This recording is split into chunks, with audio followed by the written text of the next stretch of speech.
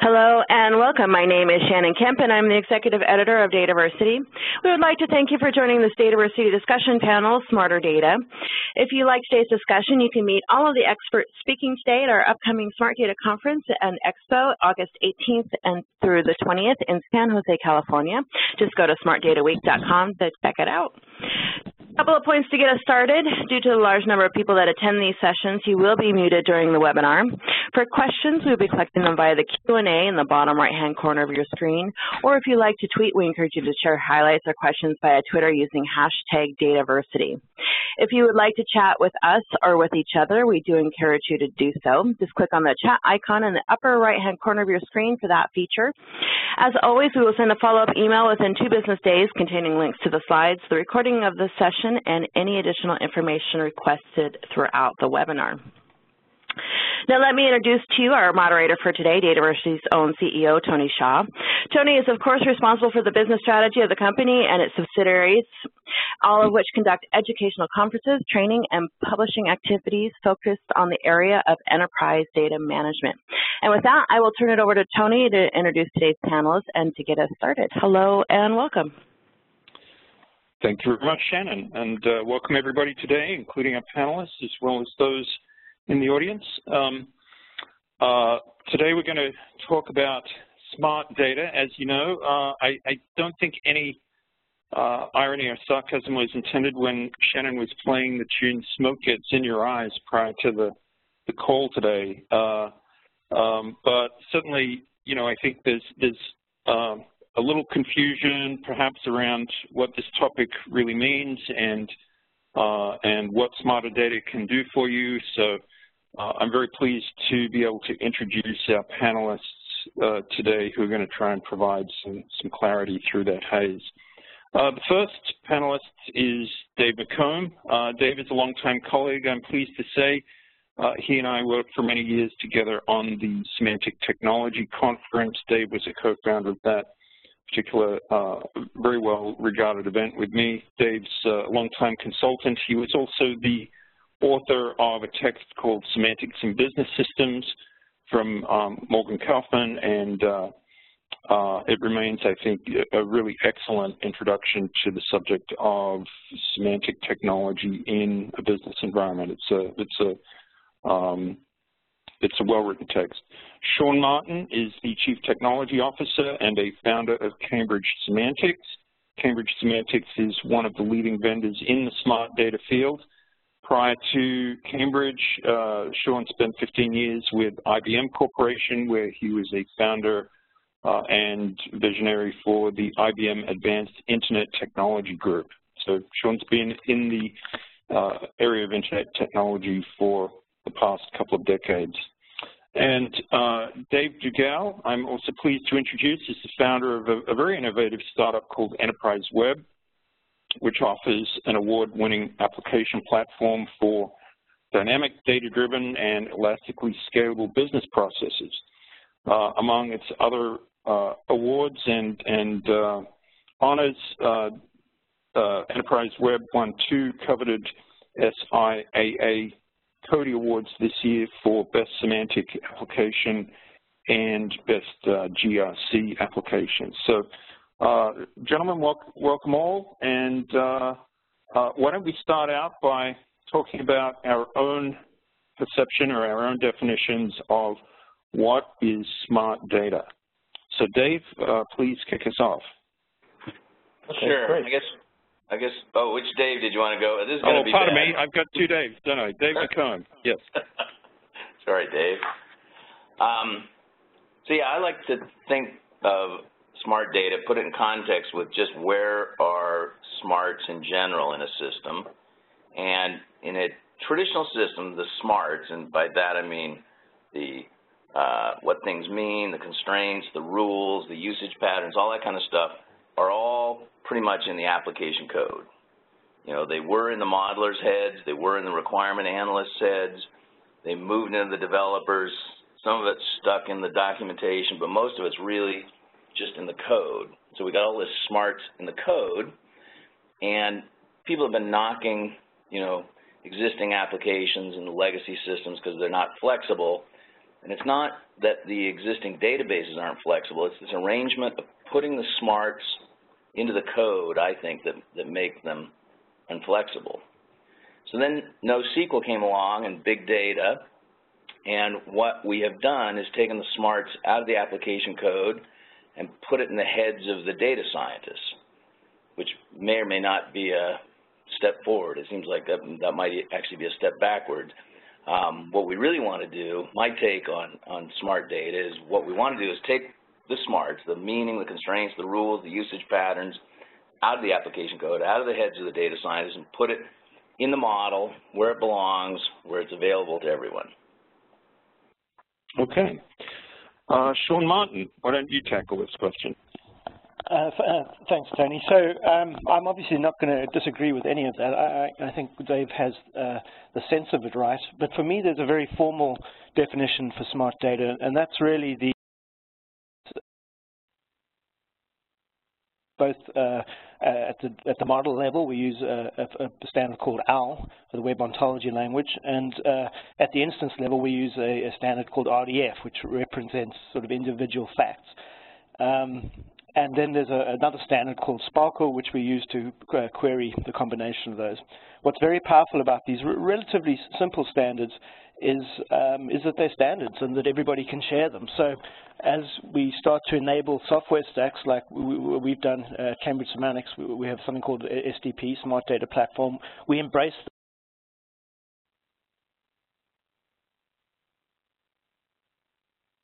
meaning and models that drive every single aspect of a system.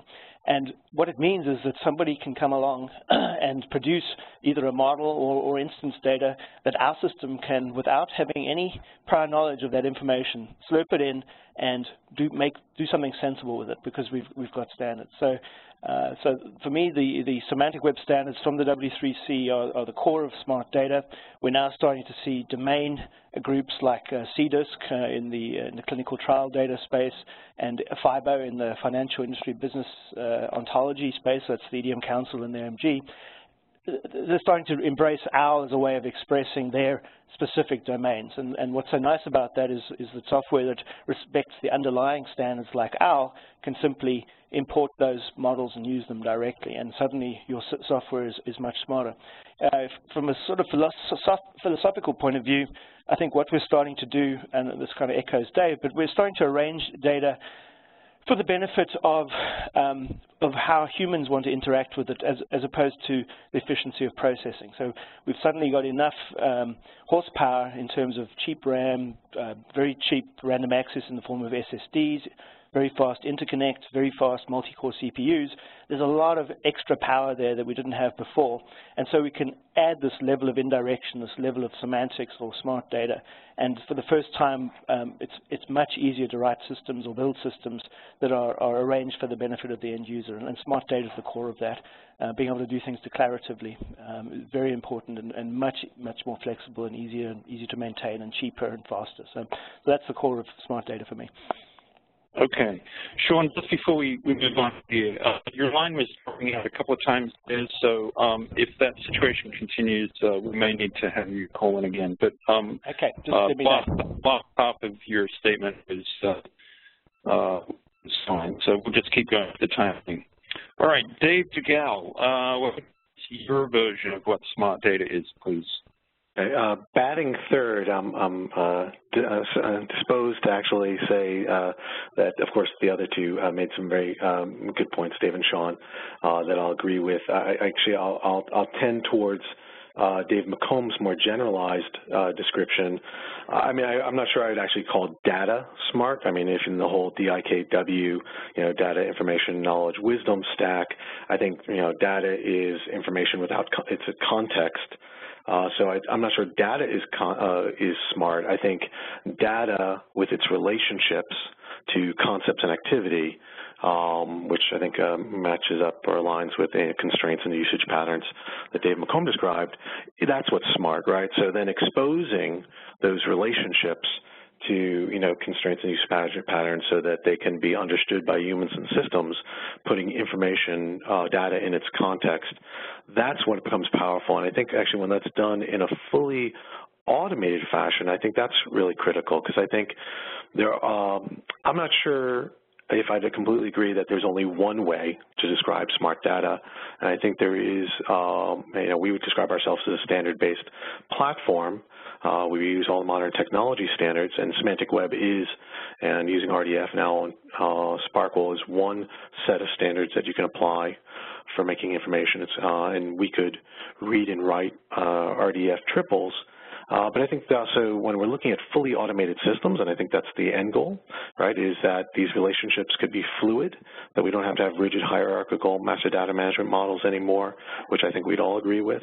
Uh, but we also don't want to actually create, I don't necessarily a of static triples either.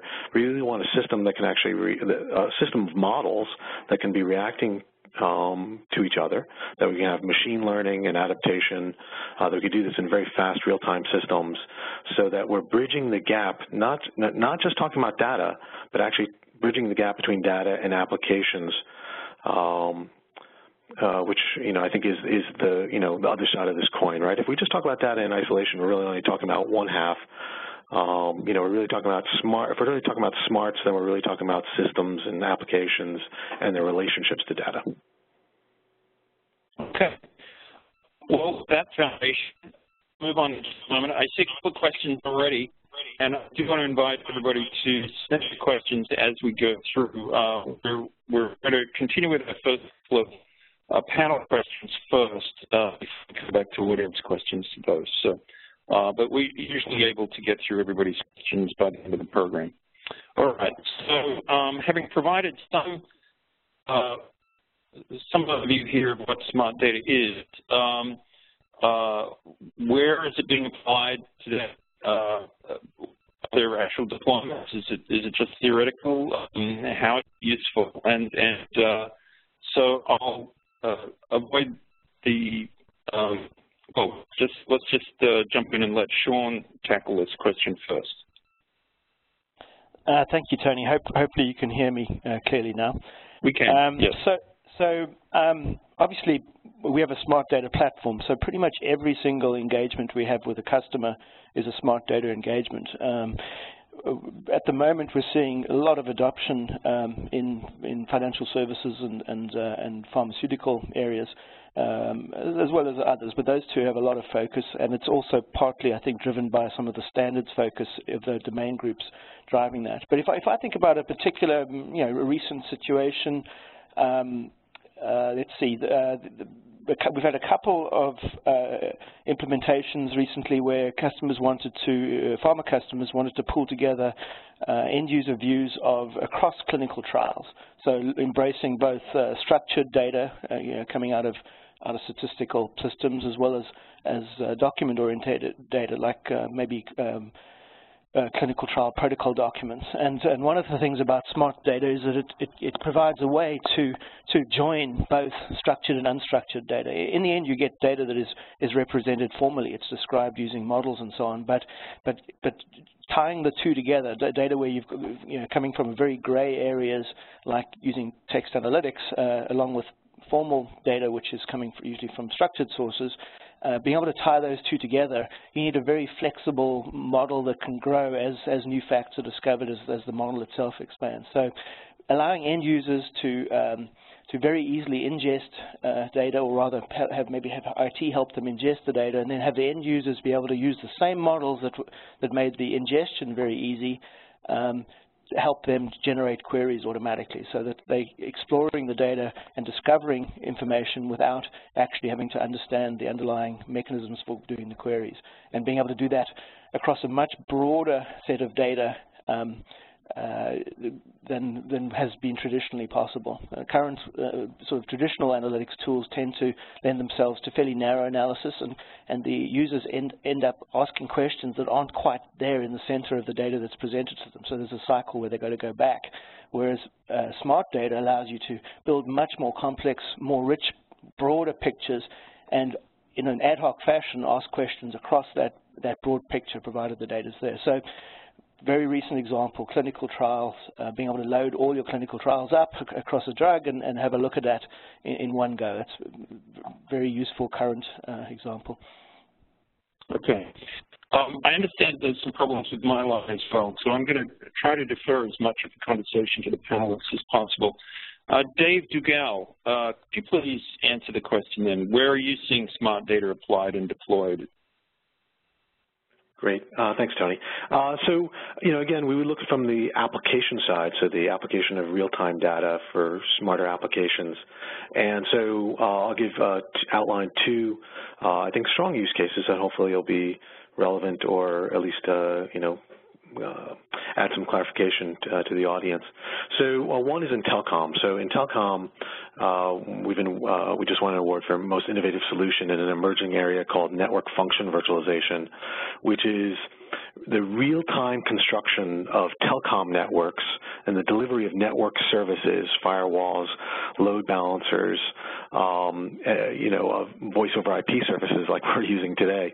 Um, the real-time distribution and balancing and lifecycle management of those kind of services um, based on over volatile networks. So you have to you know, be able to analyze the state of a network, um, work across potentially multiple um, what they call administrative domains. So in other words, delivering of a delivery of a net, uh, telecom service might actually be managed by multiple partners to deliver that. Uh, the functions themselves might come from multiple partners. So you might have people delivering a voice over IP service, might uh, people delivering some sort of um, radio access network to deliver to your cell phone. Uh, so you have all these different functions, and they're actually all subject to different standards. So there's actually multiple standards involved, multiple technologies involved. All these, so you have these multi, multi-domain uh, distributed computing problems, right? And in this case, what our software is doing is it's actually taking uh, a declarative model of intent. What does this network service supposed to, you know, uh, Tony is a platinum customer for voice over IP. When he makes a request, he has to get uh, these five nines and he's supposed to get, you know, these SLAs met. Uh, instantiate Tony's service over the network and maintain it even though the network is volatile, which might means scaling that up and down dynamically. So, you know, uh, so that's in a certain intelligence just to manage that in real time. But the other aspect of intelligence here or smart data that comes into play is in that in the domain I just depicted is there's a lot of change, right, between the, the partner um, the partner um, functions might be up, being updated, the partners um, networks might be being updated as well at the same time, the policies related to a network service might be being updated. Um, so you actually have to build this declarative description of a business a network service that's you know understandable to a business user, uh, that they can describe it at a very high level declaratively through policies. They can say, I just want these behaviors over these networks in this fashion, and then let the software manage all of the volatility in the background, right? The volatility of the network and the volatility of the of the integrations between all of the partners. Uh, so uh, that's one one kind of real-time challenge we're working on. Another one is in life sciences, where we also work in uh, supporting some of the world's largest research hospitals and managing um, regulations over all of their administrative processes, where we actually calculate rules over uh, researcher activity in real time so the researchers can focus on their actually research studies, the subject of their uh, uh, research, uh, as opposed to trying to manage all of those and try and keep in their mind all of those rules. The system actually, every time the research takes an action or a rule changes, it sort of recomputes the state of that application, and if there are any new uh, requirements, it auto-tabulates that uh, and notifies the appropriate people or triggers the right processes. So two different very different um, scenarios. One is a, a, highly regulated, long-running human process, and the other one is, you know, real-time, you know, systems, infrastructure, cloud processes, uh, but fundamentally driven by the same principles of smart data. Okay. So, uh, Dave I, I left you to the end here because you're, to some extent, the odd man out here. You're the consultant. Uh, you're the um, uh, you're almost the client representative here, um, uh, whereas our other two guests are, uh, have have products that solve problems in this space. So let's see how your uh, uh, your response to this question is is maybe a little different.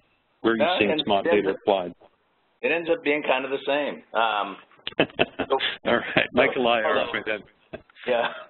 So we're working with a large electric device manufacturer who has acquired a whole bunch of other companies, and every company they acquire has their own catalog system, their own product management system, et cetera. They're all different, they're all arbitrary, they're all complex, and they ended up writing uh, literally hundreds of these things they call configurators to help electricians put together complex combinations of electrical parts for construction projects, things like that. Just the complexity just went on and on. And we worked with them, took one of these systems as a, as a starting point and created a, a model, like Sean suggested, in OWL that, that abstracted away the structural complexity but retained the a model of, of what these things really meant. Uh, and that, that model ended up being about 2% as complex as, as the model we started with. It started with a model of 700 tables, 7,000 attributes, and ended up with 46 classes and 36 properties. So, so the whole thing, in some ways, this is the Forrest Gump style of smart through simple. You know, just make things simple as you can. Um, and then we were working with another uh, consulting firm who was doing the, the rule writing. They were able to rewrite these configuration rules instead of writing them to each individual system and to the arbitrariness of, of the data structures, they could write rules that were about, you know, laws of physics and electricity and don't put something with a higher ampere, ampere, ampere, amperage unit uh, downstream from something with a lower one, it'll blow up. You know that, and then physical constraints and configurations, but not the the arbitrariness that was that was baked into all their existing systems. Um, so then, and also like Sean said, we took their existing data, converted it to the standard RDF, put it in triples, put it in a triple store. We could query it with SPARQL. They were then writing the rules against that SPARQL endpoint. Um, and then you know, we got a couple other extra bonuses out of it. We got to the end of it, they decided they'd been having a lot of trouble complying with uh, a standard called ETIM. It's an electrical device standard. Uh, because they've been trying to do it at a, at a very detailed level, we were able to just write uh, a, a, way to do configuration at the uh, kind of at the abstract property level there, which took you know most of the effort out of it. And then uh, finally, they had, a, they had a company they acquired. They, they wanted to convert the data into this shared format. Um, did that in just a few weeks, and later, and you know, all the same queries still worked. Everything worked the same, even though they came from radically different systems. And we then found out that they'd actually acquired that company 10 years ago, and it, you know, for 10 years they've been talking about trying to convert this data. And we said, you know, if, if you actually know what it means and know what the rules are, it's pretty straightforward. So I guess I, it, it all sounds great. Um, uh, let me try to, to get the dummies version of this just for a minute though, because uh, on the one hand, the powerful though the system is, it, it, it, sort of just sounds like you're programming, you know, hundreds of thousands, if not more, rules into a system, and then um, is is the intelligence in the rules, or in, in, in what way is the intelligence in or the smartness in the data? Um, uh, Dave McComb, this is really a follow-up question to to your statement. So what what we're doing is mostly trying to avoid writing hundreds of thousands of rules. In, in, in some ways, that is what an application system is. It's a whole lot of very trivial rules about moving data back and forth between screens and databases and stuff. So pretty much, you know, walk away from all that, and when you have a, uh, a, a lot of the smarts, as far as we're concerned, is in the economy and the elegance that you can get to when you are no longer burdened by the structure. And then, so when you get to a fairly elegant uh, structure, there are rules, but there are, you know, between dozens and hundreds and not thousands and hundreds of thousands. So I, in some ways, I, I really do think the smartness is in the simplicity. Okay. Sean or Dave, do you do you have a different answer to that question?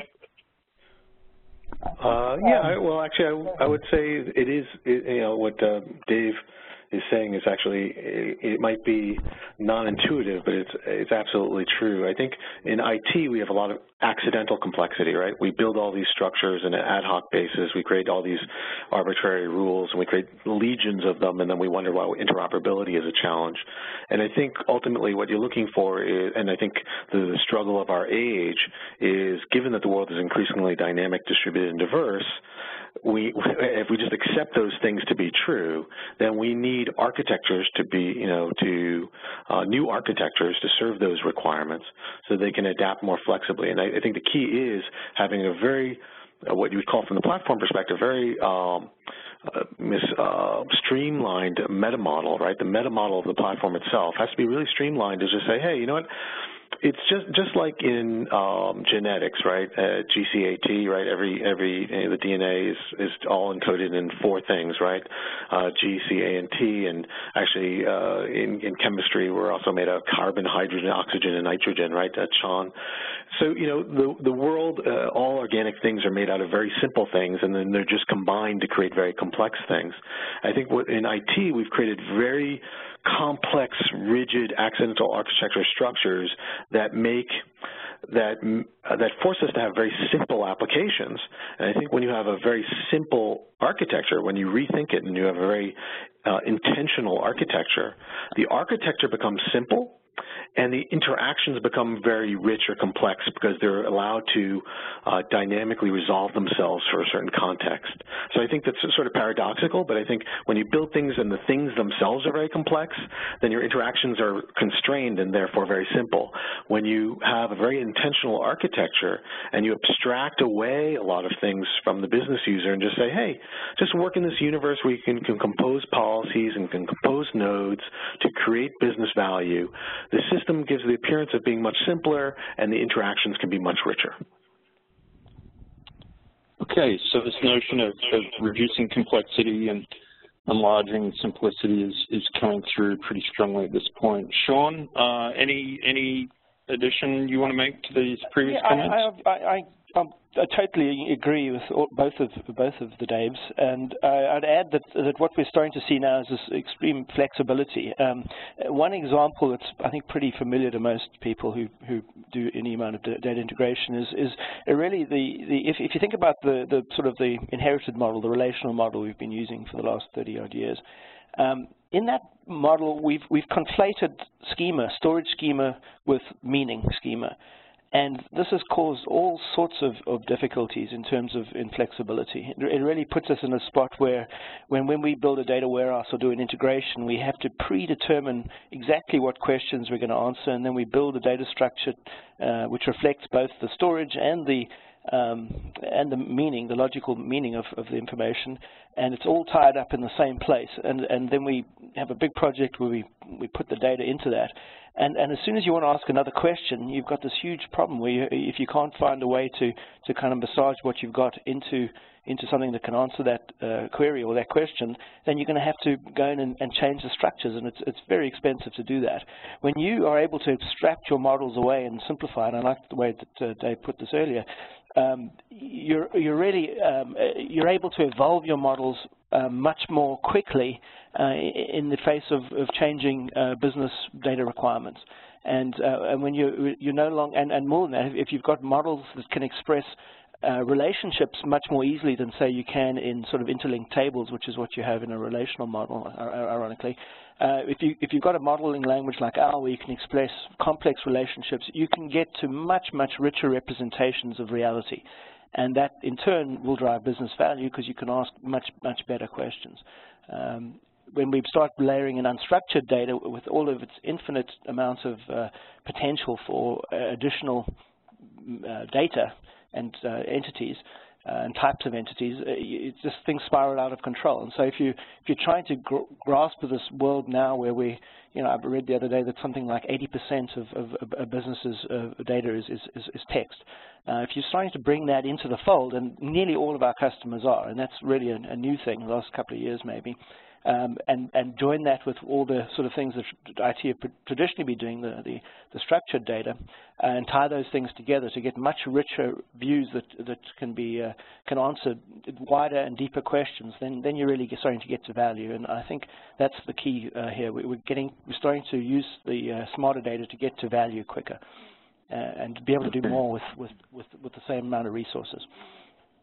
Okay, so the first question was asked, I'm going to go to the first, the, uh, the audience opportunity to do that, is that uh, historically, and, and, this is probably controversial for some folks, but um, uh, reasonable observation is that model-driven architectures have uh, already failed. Uh, the question says they've already failed. I, I, guess that's where there might be some controversy, but um, and in, in many cases spectacularly failed uh, if um, uh, if you believe uh, someone like Scott Ambler, who's, who's a, a strong uh, agile evangelist.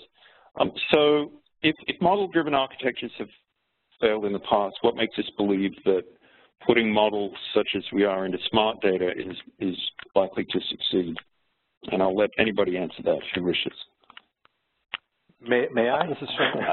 Oh, go ahead. Go ahead. Yeah. okay, go ahead, Sean, if you want to. I was going to say that it's definitely not proven that a model-driven approach is, is failing. It's actually totally the opposite. We're, we're, seeing extraordinary gains through using models. And we're not talking, there's, there's a question of semantics here because we're not actually talking about the same kinds of models. Um, a model-driven approach in code is very different from a model-driven approach where you're using abstract models uh, that are easy to operationalize, something like OWL. Um, the other thing that uh, that may have changed drastically is our ability to scale this. So, you know, it may have it may have seemed like we were unable to address the kinds of, you know, the wide variety of solutions people wanted to address four or five years ago, things have moved on. Big, the whole big data thing now uh, has changed the, the, the, level of scale at which we can apply um, these abstract uh, semantic models or smart data models, uh, and, and that is transformative. So we are using models at the center of everything we do, and it is actually extraordinarily liberating. And if you don't believe me, uh, please request a demo just to see the kind of power we can unleash with models, because it really is right. uh, breathtaking. All right, Sean, you, as the as the other vendor on the phone, you might uh, you know expect that I would likewise agree that, uh, but it's also from the demand side. I would you know we, we participate in many movements uh, from OpenStack. I was just at the Open Daylight conference. Uh, I mean, uh, to pretty much every major open source movement, and they're all looking to be model driven. And I think the reality is the complexity of the business environment and the requirements of the business requirements. So, you know, not just some philosophical, abstract, architectural requirement, right? This is not just about, you know, me, Sean, and Dave, uh, you know, really liking these ideas. Uh, I would say these are necessary for the continued survival of, of the organization, right? Because we have to automate, automate our way uh, into the future, right? If we look at it, it's 2015, and we've automated a lot over the last, you know, 100 years. But one thing we haven't automated as of yet is IT. Right, as we have to turn uh, automation onto IT itself so that we can scale our cloud environment, so we can manage complex rule domains, so we can manage interoperability uh, in our new value webs that we have today. So that will all be done by models. They will be done by much more flexible structures um, that uh, can adapt to changes uh, as as they occur while provide you know persisting history and being fully auditable. So I, I think it's true what the what the person has said as far as uh, you know prior attempts have. I don't know if they failed it, but I think they've been limited. But then again, you could look at uh, you know the high rate of failure in IT in general. It's 75% of IT projects are indicated to be failures. When you go over a project over a million dollars, it's like 90%. So what's the cost of static siloed IT? It's in the trillions right? So I think uh, it's the um, you have to look at it. I think you have to look at it relative to the alternative or the status quo, and then also look at the new requirements and, and uh, also the new technologies that have been enabled. You know, obviously, with the web, big data, et cetera, we're just we are in a new age. So uh, I, I, think the person who wrote that in is, is correct. Certainly, there have been challenges in the past, and that's led people to be more tactical and code up siloed solutions. I think now uh, people are looking for more generalized solutions for greater visibility of their and uh, more centralized policy management, uh, and that's going to drive them towards model model-based development. Okay. Uh, yeah, well, David, Tom, I'm sure you have an answer also, but I, am going to ask you to hold it, please. Okay. We've got some, some other important topics to get through here. So uh, I will give you first uh, crack, though, at the next question, which is, um, and we, we started to talk about this a little bit in terms of how does smart data work, but um, so let's say you're a customer who's, who's intrigued by the ideas that uh, they're hearing today and, and everything. Okay, so how do we get started to do something useful with smart data? What's your advice? Well, kind of the, the stock advice, everybody wants to do a, a proof of concept and then a pilot, et cetera, and, and I probably can't dissuade them, but most of this stuff is already proven. You know, the, the I guess I guess people just desperately have to have internal demonstrations to prove it for themselves, and so I, you know, I don't know that I can radically change that, but everybody has a, a huge backlog of, of gnarly problems they want faced. Uh, a lot of it is is pick one that has some characteristics that will showcase uh, the smart data approach early on, uh, but but don't, you know, we're we're really trying to counsel clients not to pick this as being yet another application because if you already have a thousand applications, you can come up with a clever way to make a thousand and one. Um, you haven't really made a lot of progress. I think we want to be uh, using this as a, as a way to get beyond the application-centric mentality. Um, that actually raises a, a, point that I was trying to get at with this particular question, Dave, which is um, uh, you know, what's what's the mindset required to get started here? What is what is different about uh, approaching the smart data uh, in terms of how the business needs to think about it? If it's not just another application. Right. And and I, and I suppose where most of our clients are starting with it, and, and Sean was hinting at this as well, it's it's if your intractable problem is the fact that you have data in, in many different systems and many of them aren't even traditionally structured systems, they're social media and, and semi-structured data and, and completely unstructured data, just textual data, and if that's what is currently frustrating you, um, then sooner or later you're going to say, you know, the only way to, to bring that all together is to have a model that is not structure specific, is structure independent, and can represent the stuff that's in all those different systems and finally bring it all together and, and get something done. So, you know, I think the, I think the the mindset is is a combination of frustration plus hope, I suppose. okay. Uh, all right. I, I, I was really happy with where you were going there until the very end. Um, uh, uh, let's let me let uh, Sean and Dave. Where do, where do you recommend your clients get started in thinking about smart data? You go ahead, Dave. Um, so, you know, I, I think it, it, won't be completely inconsistent with Dave's. I think we generally go grow as you go. I think the uh, the challenge is uh, the challenge is people feel like this is new, it's transformation, it's scary, um, their careers are at stake, and, and, I think you have to back people off of the ledge. Um, I think you know sometimes it does help to do a proof of concept just to show people that hey, look, I can actually very rapidly build something that actually is fully functional, that demonstrates a capability uh, exactly that you might have struggled with in the past. So usually, usually I think two things. One, the whole point of a platform is to provide a unified architecture, common tools, libraries, and services that enable people to start building things on top of a platform and then let you scale them out over time, right? You can scale your operation. So you don't have to, you can always start with a scope of X, I guess is what I'm saying, is we, we don't have to burn down the legacy. I think that was generally a bad approach. I think what you're looking to do is uh, tackle a problem that's real and concrete to the organization, identify some initiative or some pain point, uh, and then, hey, then call upon like a technology like Sean has to offer or we have to offer or somebody else has to offer and say, how would you solve this? How would you make my life better? And not just maybe solve this problem at the same time, how could I apply the learnings from this or and the technology here to a broader set of problems and expand it over time? And I, I think that's the benefit of the, uh, you know, the new technologies out today is that you can, you know, essentially think big, start small, and then scale based on uh, success. You don't have to just make one big leap into it, right? It, it, it is some new capabilities, but I think the more that you make uh, make it this sort of big do or die thing, I think the less likely it's even ever to go off the ground. I think the key is to say, hey, there have got to be problems where your organization struggles with uh, being faster, being smarter, being more adaptive. Let's tackle uh, maybe being more connected and networked. Let's tackle one of those problems, use data in a new kind of way, and then maybe that will be its own proof point to build, you know, um, support inside the organization.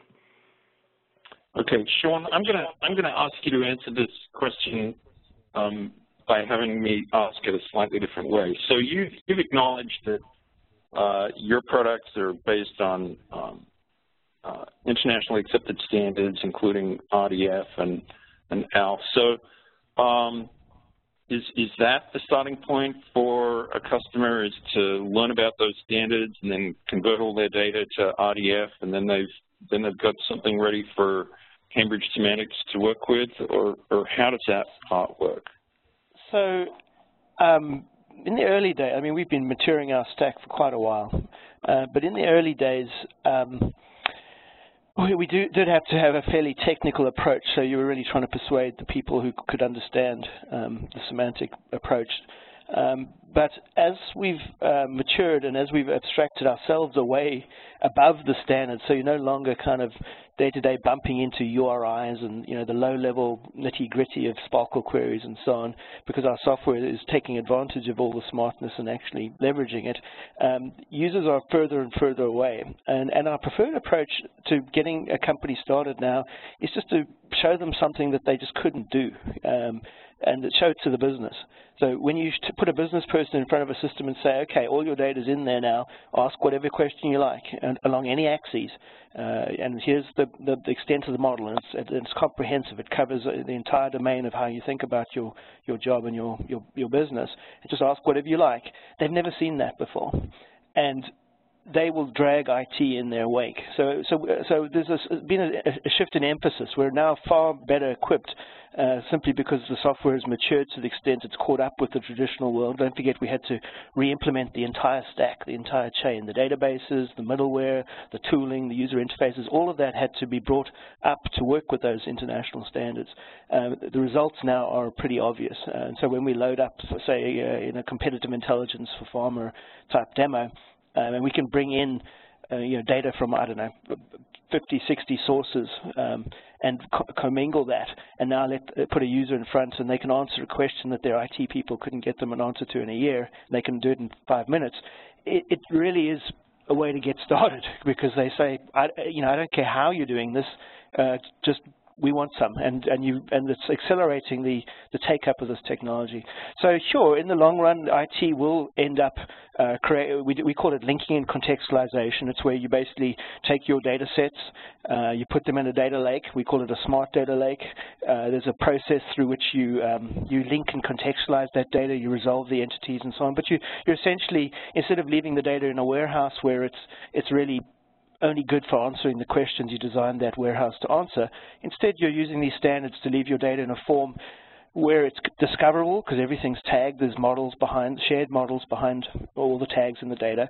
So you can discover that data and you can, an end user can just select data sets and commingle them. And because you've used the standards, there's no further integration required. So I think in the future, IT's job will become to effectively deliver data in a form where it's been linked and contextualized and become smart data so that it becomes basically random access by anyone who's who's entitled to to see that data and, and mix it with other similar data sets. And the standards pretty much enable all of that. Um, so uh, it, we're in a very exciting spot here at the moment, I think, because because the reality of, of the semantic uh, vision, which has been playing out, you know, for what 10, 15 years now, is finally being delivered in actual applications, and uh, and there's a lot of uh, excitement amongst, uh, certainly amongst our customers, and I think hopefully we'll see this at the show in a couple of weeks, um, where people are now starting to see the promise finally um, of, of, of, smart data being applied. Okay, well, uh, you gave me a, a, nice segue there to the next question uh, when you mentioned uh, data lakes. So um,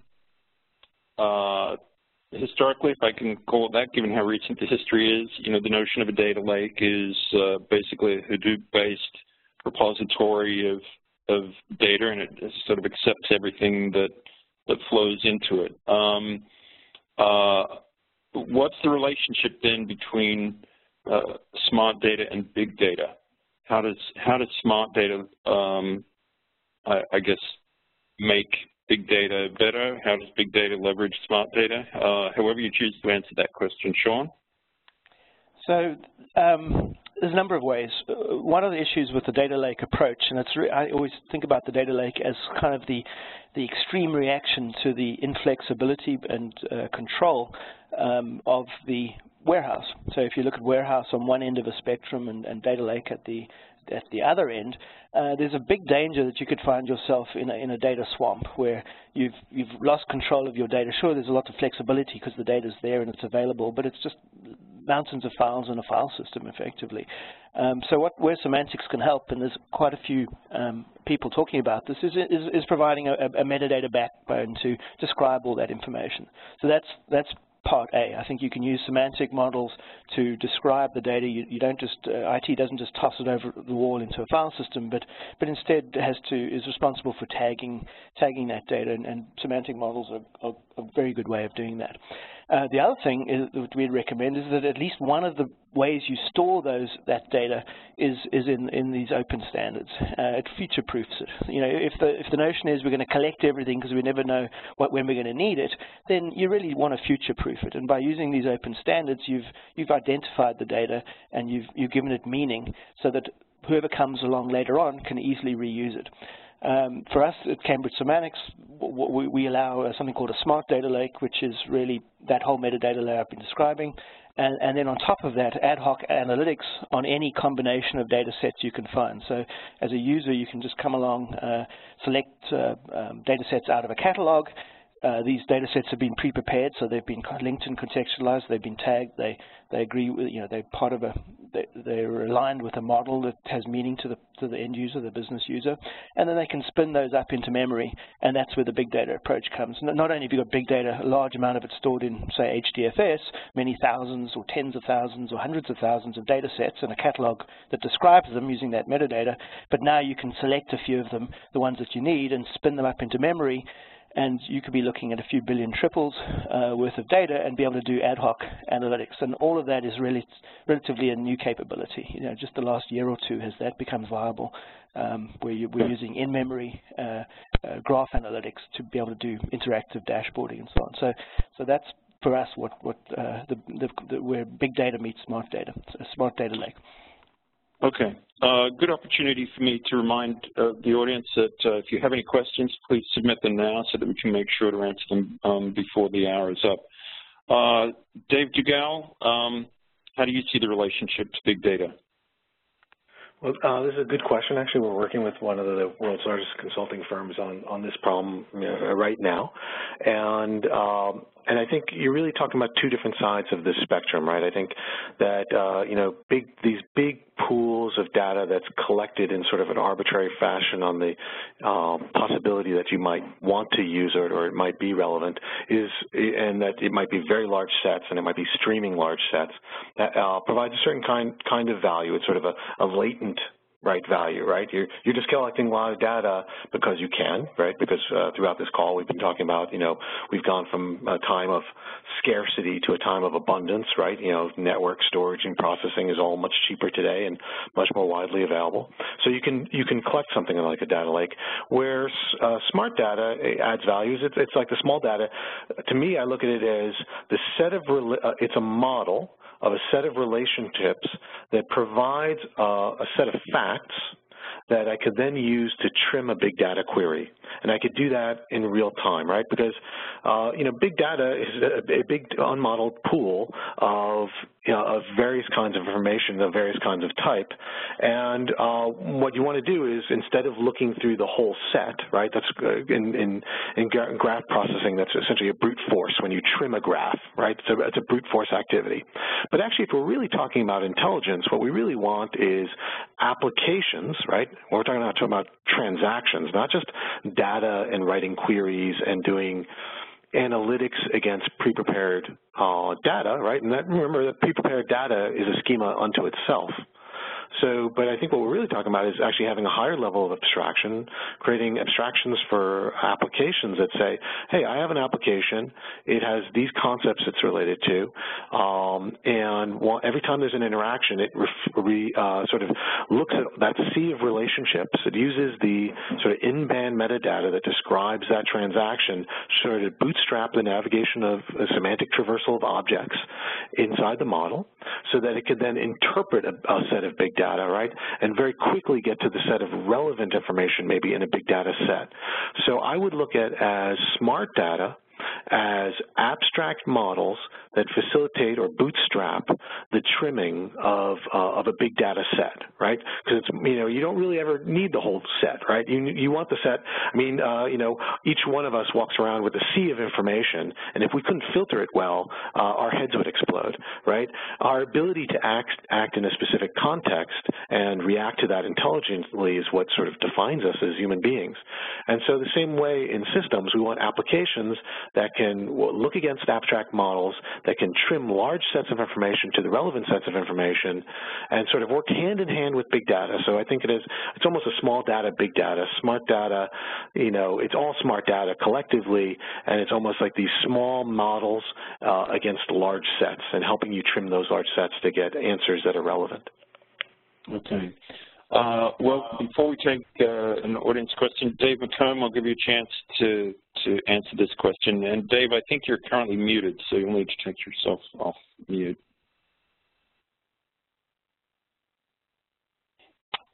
Maybe not. Maybe that's, I uh, can't hear Dave right now. So why don't we uh, take this question?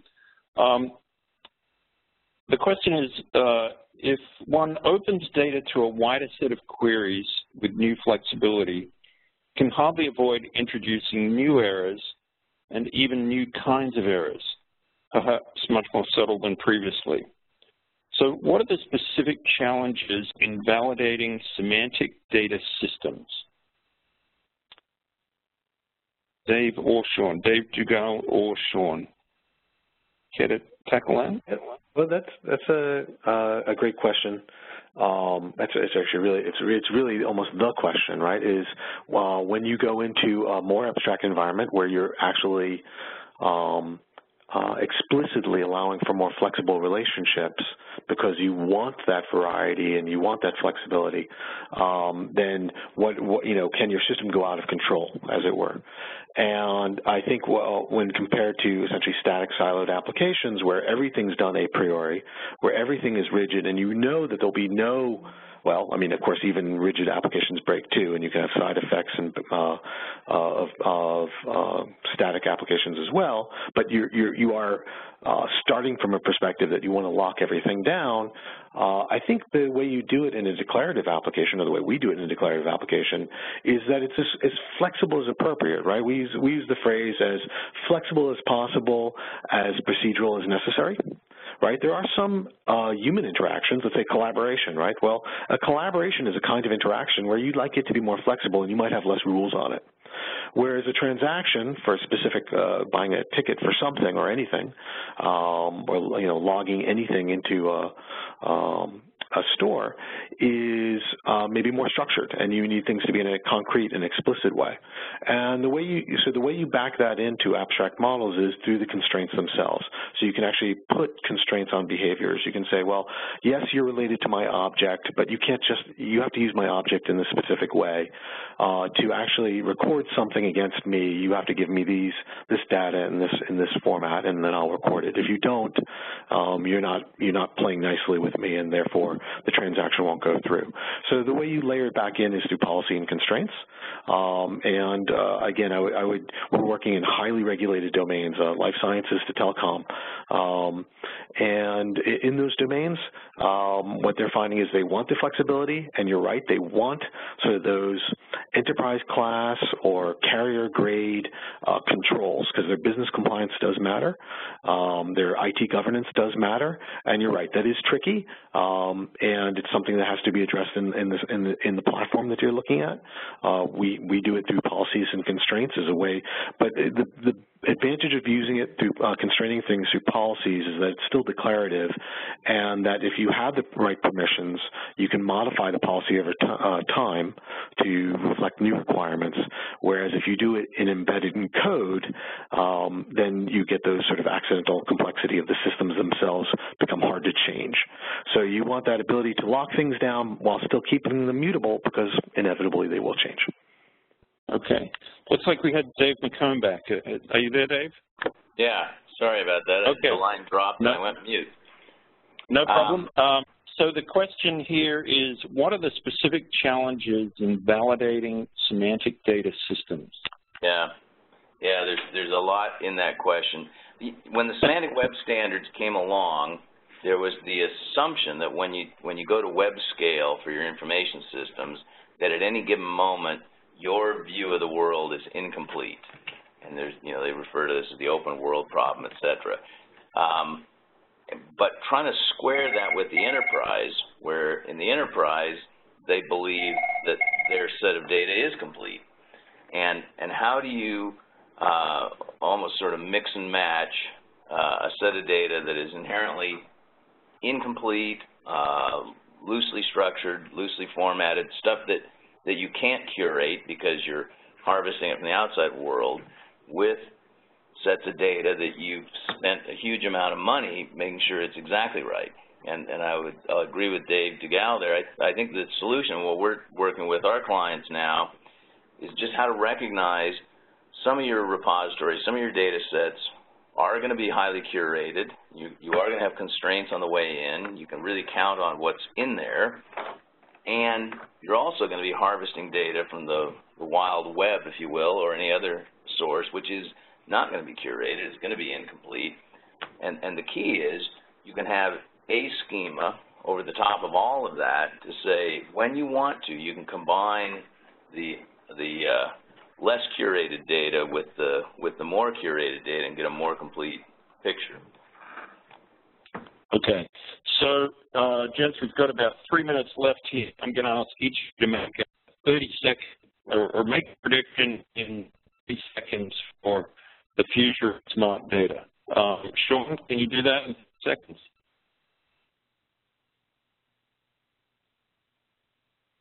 I'm not hearing Sean, so Dave Duggal. in five to 10 years, you won't recognize enterprise IT. It will be um, things that we do today that are all manual, um, writing apps for being parallel, writing things for being data for being immutable, uh, writing things for asynchrony, um, manually integrating APIs. Uh, our children will look at us and say, Dad, you did what? Um, uh, you have to actually look at that, read it, and manually integrate it, and in the future that will all be semantic, dynamic, and fully governable. Yeah, it would be interesting to go back in and, and uh, uh, imagine where we would be today. I think it's stunning. Sean, do we have you back? Yeah, yeah apologies. I, I was just going to say, what's smart data? We're going to see it explode over the next two or three years. Five years out, who knows? Ten years, it's impossible. But uh, two, three years, smart data will be everywhere, for sure. Okay. Dave McComb, what's your prediction? Boy, I hate to I hate to be the naysayer on this one, but I, suspect that five years from now, 95% of the companies will be operating more or less as they currently are. Um, just we've done a lot of 10-year plans for people and watched. The inertia is unbelievable. However, like I said earlier, there is still hope. There's the 5%. Um, 5% of the companies are going to embrace this and are going to have some, some radical transformation. And I do think, you know, most people uh, overestimate change in the short term and underestimate it in the long term. I do think in the long term, what, what, what the enterprise information systems are going to look like is going to be a lot more like the App Store. We won't have these big monolithic applications. We'll have little tiny pieces of functionality, but unlike the App Store, which works because you are the systems integrator, the App Store will be little tiny pieces of application that are already pre-integrated into the firm. And as soon as you pick it up and use it, you're off and running. So uh, the, the long term, very rosy.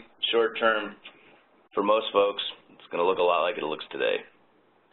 Yeah, I think that's always, that's that's the challenge is uh, picking the time frame. I think the direction is often is often is uh, you know whether it's five or 20 years. Uh, that's that's the hard part. So uh, we're going to need to wrap things up here. Uh, if you'd like to meet all of all three of our panelists today, and in fact Shannon and myself as well, uh, please join us at the Smart Data Conference in San Jose in a couple of weeks, and we'll be giving away a couple of tickets to that conference after the session today. Uh, I'd like to thank everybody who joined us, and uh, in particular our panelists. Um, good job, gentlemen, and uh, I'll hand you back now to our host, Shannon Kim. Shannon? Thanks, Tony, and thank you, everyone, uh, especially to our attendees for being engaged in everything that we do. I love the questions that have come in. One of the most popular questions, of course, is about the slides and the recording. Just a reminder, I will be sending out links to both by the end of day Thursday. So if you don't have that in your inbox by the time you walk in on Friday, just let me know, and I will make sure and get you a copy. Uh, again, thanks to our panelists and, and to Tony for, for such a great discussion. This has been fantastic and really appreciate you guys putting this together. And I will see you in San Jose in a couple of weeks. Bye, everybody. Thanks. Bye, everybody. Bye-bye.